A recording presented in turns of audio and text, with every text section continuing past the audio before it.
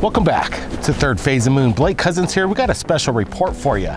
We're in Bigfoot country, Show Low, Arizona. The mysterious Sasquatch has been spotted throughout these woods. And we're going to be going over incredible videos submitted to us right here at Third Phase of Moon via Doc Skinner, who has obtained incredible footage of the elusive animal itself. We're going to be meeting up with people that believe in Sasquatch. So buckle up, everybody. Let's get to it. We're going to be meeting up with Doc Skinner. Thanks for joining us. So you say the local residents around here have been experiencing Sasquatch for hundreds of years now? That's right. So you've got some videos that you want to share with us. And um, how did you obtain these videos in the first place, Doc? Found them on social media. Uh, found this one in particular that had three new videos, but the second and third one are what I wanted us to check out. So there's a lot of videos in regards to Bigfoot, Sasquatch, but a lot of them are speculative. Like there's a lot of hoaxing going on Yes. in the UFO Bigfoot community. But then there seems to be some authentic evidence that comes forward as well. So yeah, this this video right here says three impressive uh, Bigfoot videos, and the second and third one is what I wanted you to see. The first one here, it, it looks like kind of like the the Patterson video, but uh, not in an open field. It's along a tree line.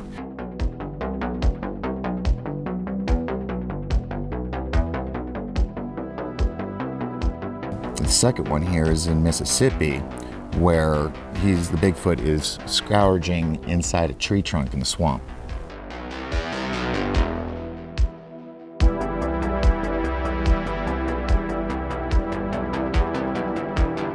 We've just watched a video. What do you see here, Doc? Well, it's it's a open field that looks like it may be around winter, maybe springtime. A lot of dead trees around. So you see this big long tree ridge along this open area, and here's this creature walking along the tree line, and he's just doing it very nonchalantly.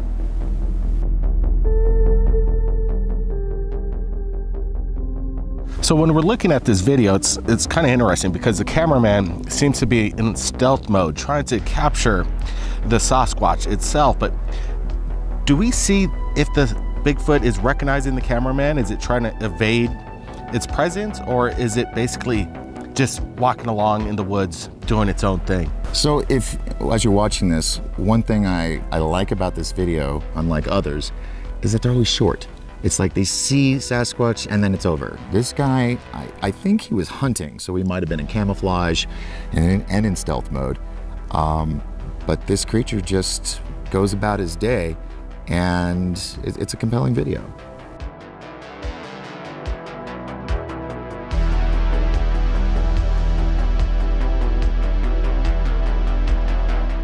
While I'm still looking at this, I'm trying to figure if it could be like a man in a suit, but again, the the creature, it's large. I'd say approximately 10 to 11 feet in height. So, you know, that'd be kind of interesting for a man to be in a suit and walking on stilts at the same time In and the woods. maintain balance. Yeah, that, in the woods, in Mother Nature. So it is compelling. And again, as you mentioned, the cameraman himself is trying to do his best to capture it, but then he's hiding behind the trees and trying to be in stealth mode. Was he a Bigfoot hunter or was he just out there?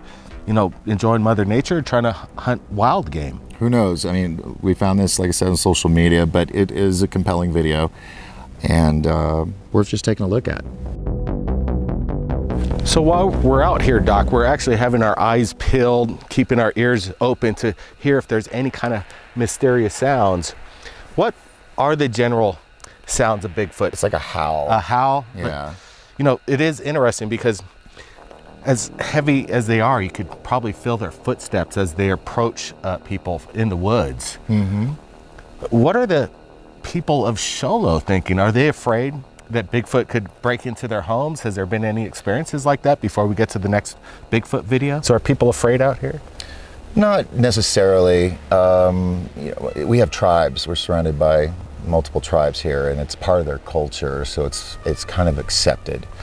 Um, we we have Bigfoot people up here, but uh, you don't really hear as much about it as you would at other places. But uh, people people have that feeling. He's around. We just heard something just moments did. ago. Did you We just did, hear as that? we were getting ready to set up? It's um, it was kind of a howl, but it was way over there, whatever it was. So, um, I don't know. Some people will communicate by bashing trees with large branches, and that's supposedly a way of their communication. Um, been stories of rocks being thrown, hence why I'm continuously looking around. you never know. Um, but there have been sites that have, uh, um, what's the word I'm looking for? Little little uh, home areas that they make up with tree branches and stuff that they break down. Those have been found in the area as well as footprints, which I happen to have some casts of those that were nearby. Actually, we're going to be looking at your casted molds of the Sasquatch footprints that you received earlier this year, but let's get to the next video that you wanted to submit and it is compelling in your opinion but we're going to share it with everybody and the panel members right now so let's just roll it and let's take a look at what you got here doc well, this was supposedly uh, shot in Mississippi by a hunter, and he was out in the swamp areas, and he found what he says is Sasquatch.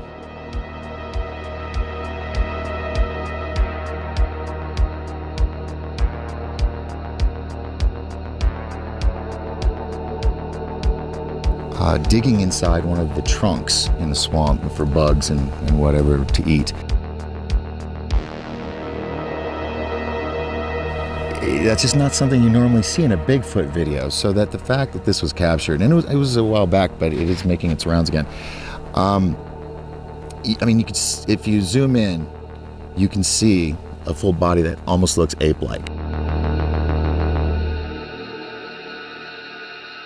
Uh, this hunter, like the other one, is trying to be stealthy, and he stays on it for a while. So that's like I said, one of the bad things about these videos, they're always too short. So it's appreciative when they can stick around a little longer.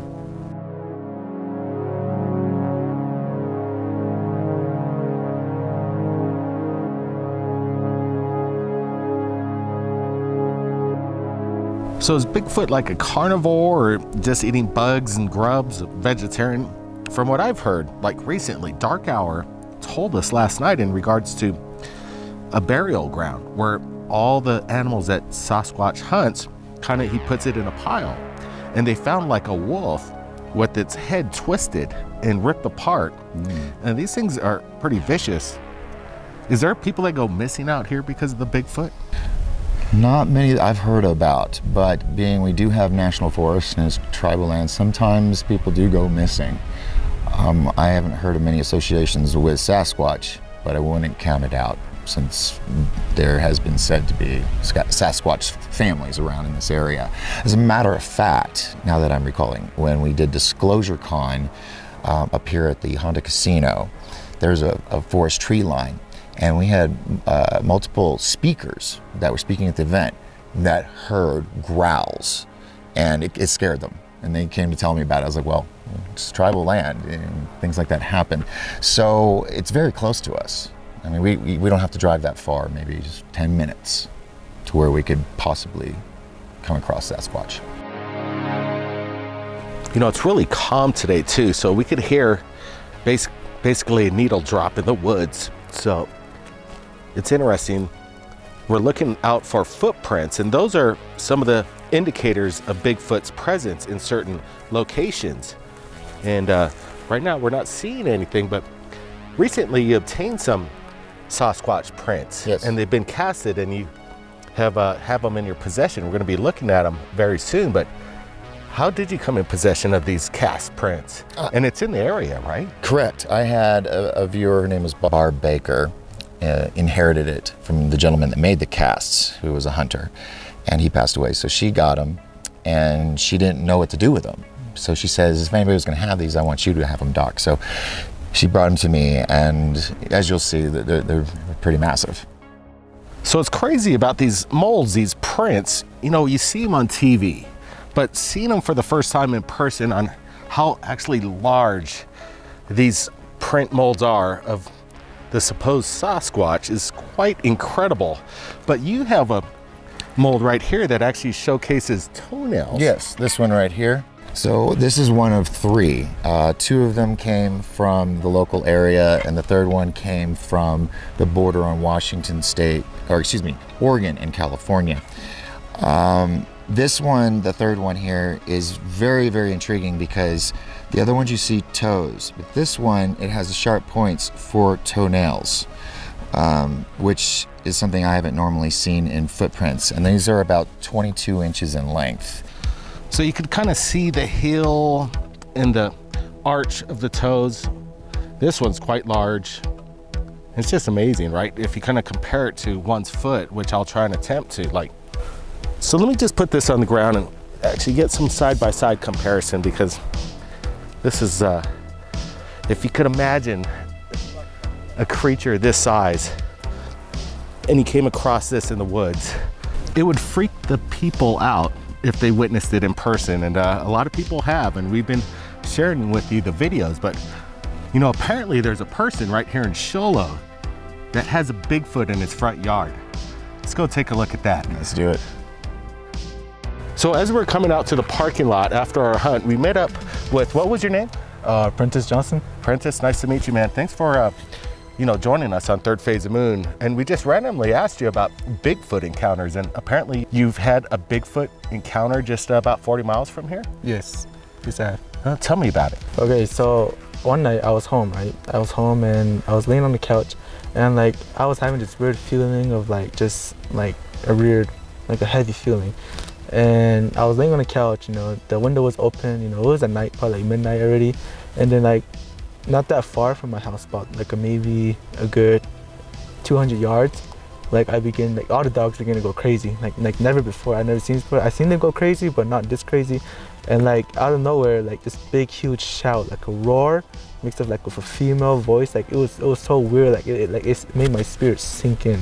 Like I was that afraid. I literally sat there like I felt paralyzed. I couldn't move at all. And so I finally built that courage because you know, like uh, where I'm from, you know, our ancestors say to never be afraid, but to know that, but to know that our Creator is with us. So like that, that gave me courage a little to get up and to like check outside, to see what's going on. So I went outside, and you know, and out of nowhere, like I, I began to like once I went outside, the dogs they were all like howling and like they make this weird noise and like and they began to run straight run straight in the dark. You know, we have lights, you know, lights, and like it went, went, went running straight. So I saw them, and then like all the dogs all around me, they all around my whole my whole neighborhood. Sorry, my whole neighborhood. They all begin to like go barking crazy and everything, and like it was so cool but afraid, like scary at the same time.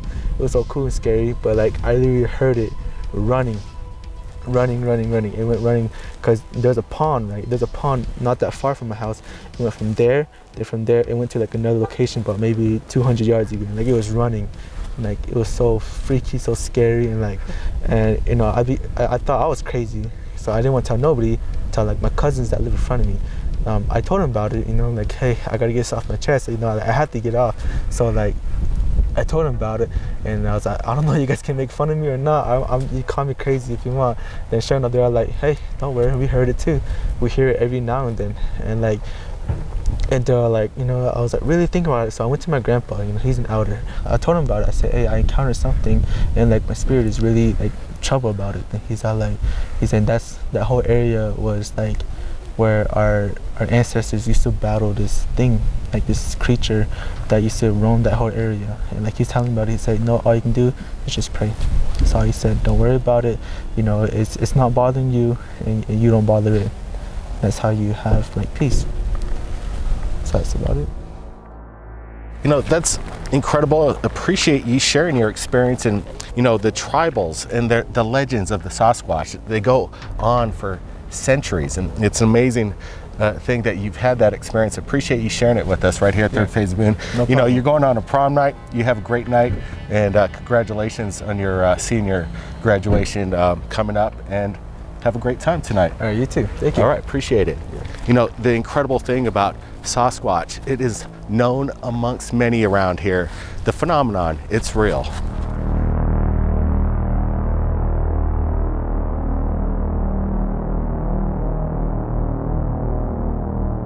The tires, the tire thing is, uh, we've seen some videos on tire art on online.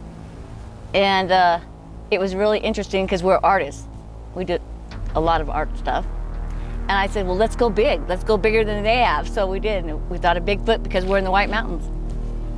And that's what happened. And we did it in three weeks. He came, that's what he is. It's kind of tricky getting the tool to cut him, though. Why? How? Well, because you can't get anything to cut that rubber, you know. With the, We had some trial and error. yeah, we went to, uh, we went- ended up getting a oscillating tool that just vibrates and, and it ended up cutting like butter. We had to make our own blade. rubber's not easy to cut. Right. and especially because I want it to make to look like hair. And so you can't just cut any tire either. It just that- burns, so actually. we figured out to cut the best ones to use was the um, golf cart tires, and that's what the, he's made out of pretty much.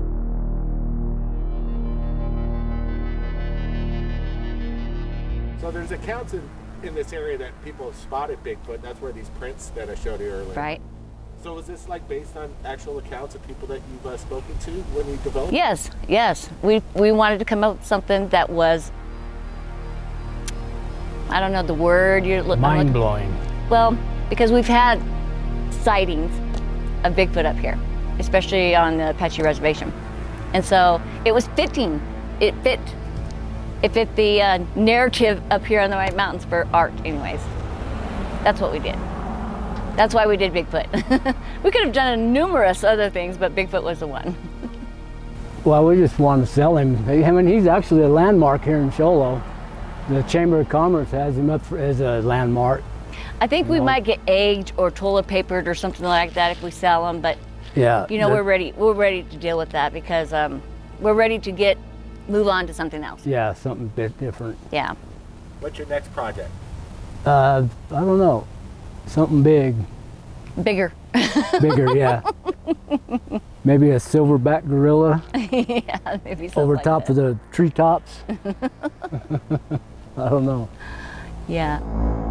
When you walk up to this, it's it's incredible the size of this, and as Mm-hmm. people state that this is the actual size of Bigfoot, maybe this is the adult size, but man, look at this thing. Yeah, he's he's big. I would hope that uh, I wouldn't. I would hope that he's not this big. you know, because he is big.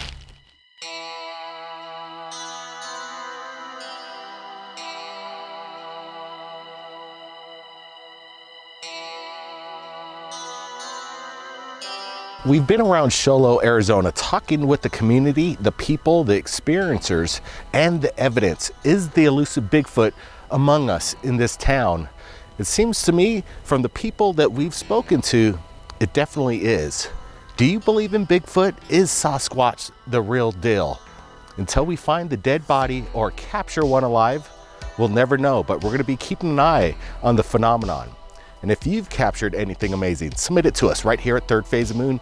My contact is in the description below. Keep your eyes on the skies, everybody. Blake Cousins. We'll see you next time.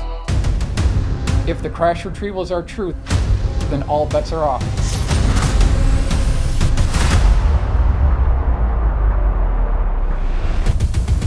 It's very hard for people to get their minds around where the real power is.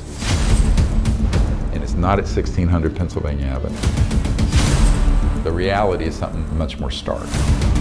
They've been working on this for 60, 70, perhaps 80 years. The reason why the government is talking about these UFOs now, they're getting ready for the next level of war. Are these objects a national security concern? They're proffering a narrative of a national security threat that doesn't exist. I call them alien reproduction vehicles. They're made by private corporations somewhere on this planet. technology from Roswell from 1947 has largely been held back from us. Portal technology, teleportation, whatever you can imagine, it's already been done. The biggest secrets are not the zero point energy and electrogravitics. It's the science of consciousness.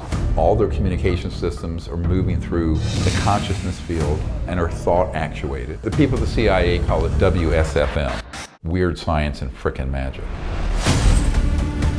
The transdimensional interstellar technology will benefit humanity There has been tremendous disinformation.